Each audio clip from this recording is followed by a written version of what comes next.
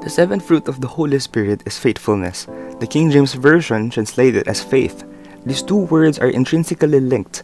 Faithfulness is a product of faith, and faith is trusting and believing in the faithfulness of God. For this particular study, we will look at this fruit from the aspect of faithfulness.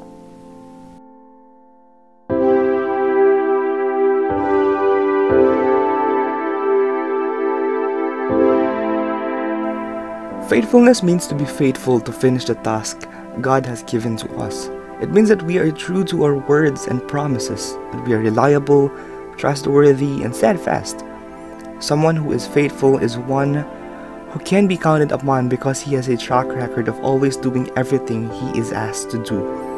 Anyone who has ever been in the position of giving orders to other people knows what a priceless treasure it is to have someone you can always count on to finish the job. It is such a blessing to know this one will work as hard when you are gone as when you were there watching. This is a description of faithful man or woman of God.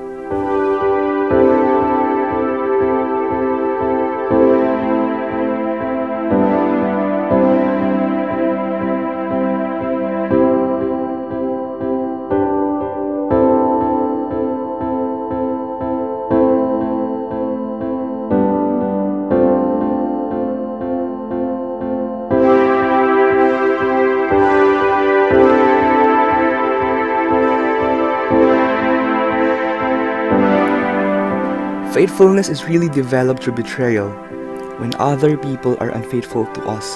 This creates within us a tremendous desire to be faithful. For Moses to be made faithful, he had to experience betrayal. He had about 3 million people, including men, women, and children, constantly complaining and murmuring against him. Korah and his company even rebelled against him. His brother Aaron and sister Miriam began to criticize him as well. Moses had no one he could turn to except the Lord.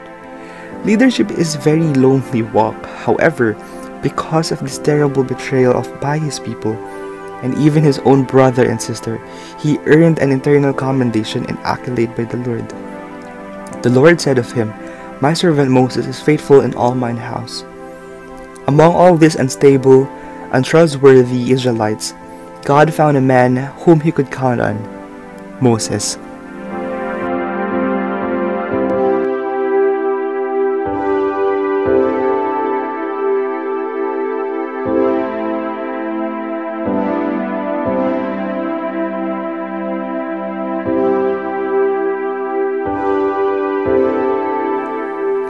Martin Luther was asked once, If you knew the Lord was coming this week, what would you do? His simple yet profound reply was this If God had given me the task of planting fruit trees, I trust that when He came, He would find me planting fruit trees. We want to be faithful to do everything that the Lord has commissioned us to do, whether it's great or small.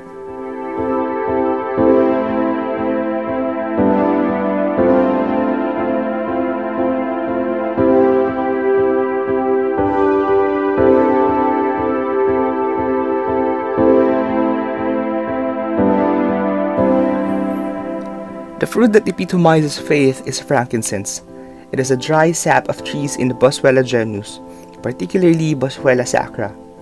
These trees grow in Oman, Yemen, and the Horn of Africa, including Somalia and Ethiopia. When dried, the sap is burned as an incense and thought to have several medicine properties.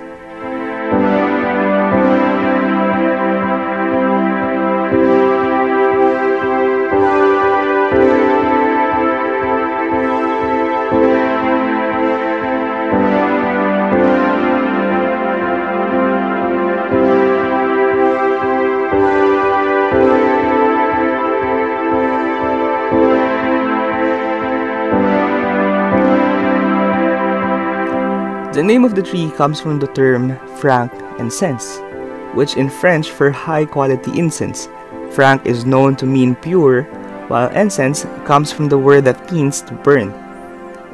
It was then considered a pure incense and most desirable of all the other types of incense.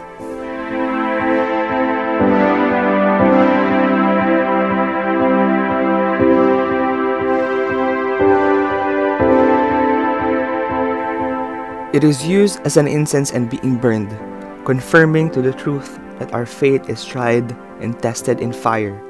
Faith is produced in the fire of affliction.